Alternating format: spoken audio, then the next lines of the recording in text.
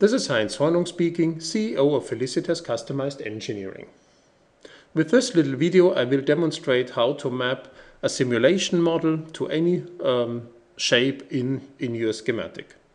For this I have opened Felicitas PCB Sim on the right hand side and um, Eagle on the left hand side and I've already opened um, an example schematic which is uh, a triangle generator with a small start-stop logic.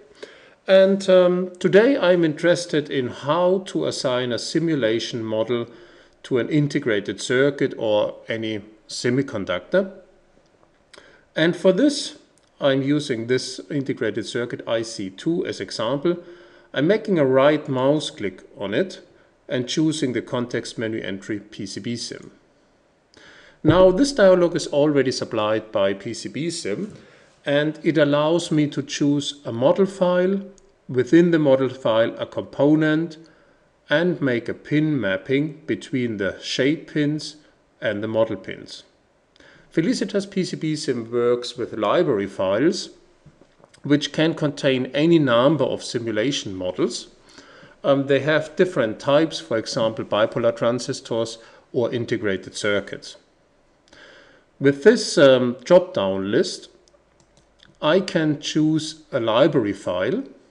In this case, I'm choosing standard opv.fic.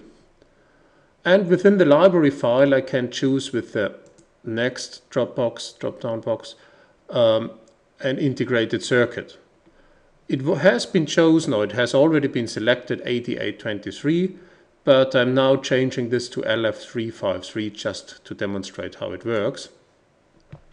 And now when I choose this, um, I have to, to assign the shape pins to the model pins. The shape pins are the pins we see on the schematic. So for example, plus VS is the positive power supply. The model pin is the pin um, um, is the pin in the simulation model. So for example, plus Vs would be the positive power supply. Felicitas PCB sim has meaningful pin names with the simulation models, so the pin assignment is very easy. The output here is the output. That's it. So I have chosen a library file, a component within the library file, and I've made the pin mapping so I'm ready. So if I press now the OK button, this assignment is stored in the schematic. So um, if I save the schematic, this assignment will be perpetual. So um, I demonstrate shortly um, the same process with the transistor. Here we go. And what I show here is this CH button. The CH button allows me um, to ch in the list of installed library files. So for example, if I'm searching here for 30, 55, then I'm finding two transistors.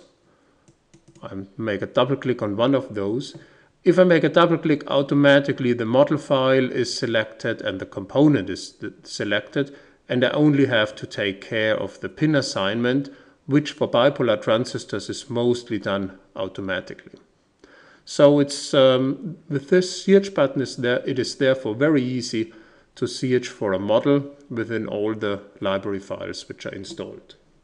If I press the OK button now, this uh, model assignment has been stored to T1 and um, is also stored in the schematic. The same assignment I could do in um, Eagle's library files, uh, that would mean if I add a component from such a library file, it would already have the model assignment done. This assignment within the library can only be done with the professional version. The assignment I have just shown can also be done with the standard version. That's all for today. Thanks for watching and bye for now.